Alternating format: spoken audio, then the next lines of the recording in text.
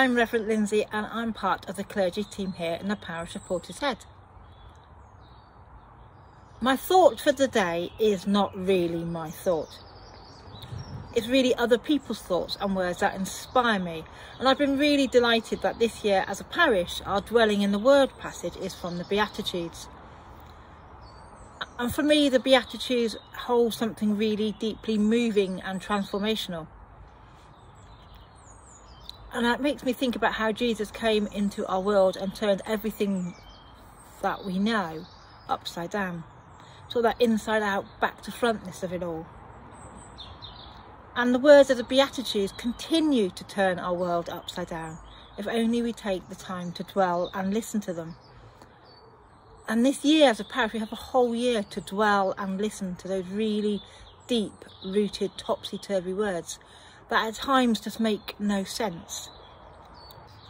A long time ago I journeyed through this beautiful book called The Ninefold Path and it's, an it's called Experiment in the Beatitudes. It goes on to say that the Sermon on the Mount, the Beatitudes, is thought to be the most concise summary of what Jesus regularly taught as he travelled through Galilee. And that the nine statements are nine blessings. Blessed are the poor, those who mourn, the meek, those hungry for justice, the merciful, the pure of heart, the peacemakers, the persecuted, and blessed are you. And it says that these blessings are as curious and provocative as ever today. I just want to read this out because these words just almost haunt me as well. It says, what if the Beatitudes contain the keys to our liberation? The signs of haunting are all around us. Conflict rages between groups and nations. The gap widens between the poor and the rich. So many are displaced left out or left behind. Due to our actions, even the future of our planet is threatened. If we're not disturbed, then we really should be.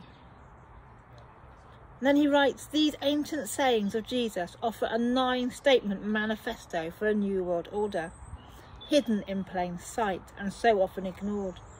The nine beats of Jesus, the Beatitudes, offer a radical alternative to the broken systems we've created.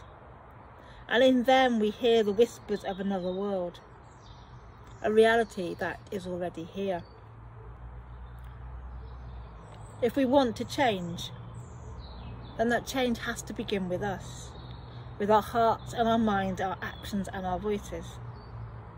It's time to wake up. There are nine Beatitudes, nine beats, but I just want to read the first beat with you and share the words. Jesus said, Blessed are the poor in spirit, for theirs is the kingdom of heaven. What does it mean to be poor? What does it mean to live in poverty? Poverty is when you don't have enough of something. You feel you're lacking. That might be materially, emotionally or spiritually. This book invites us into a awareness of our own poverty. It invites us to ponder what we lack and how we react when we know we are lacking something. It's very easy to close down and not to face our own poverty, to lash out against others who have what we believe we do not or to hold on so tightly to what we have that we're just not prepared to share or see the value of the small gifts that we've been given. When you read that first beatitude, it asks you to open your hands, to be open to your own poverty and to give what you may have.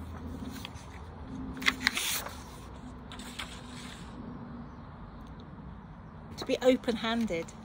Jesus invited his followers to be open-handed to be radically generous and to give all their possessions to the poor.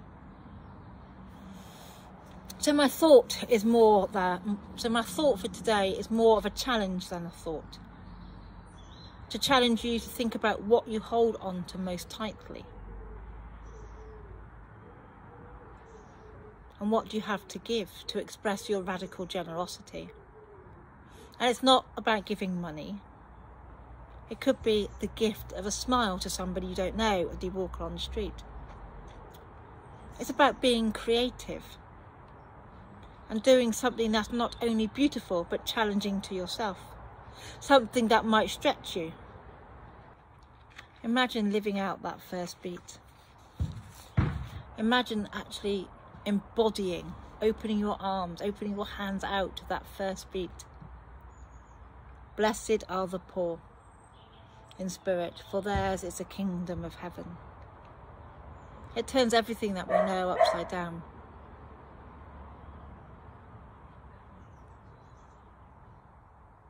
To give away, not to hold tight.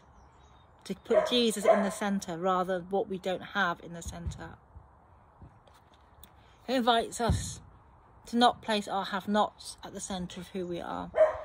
It invites us, as Daisy next door. It invites us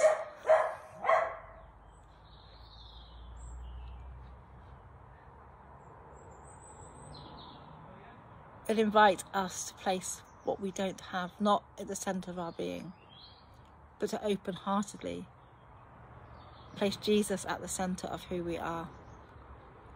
And then maybe we can start to really see these words as a liberation, as a new way of being and a new way of living.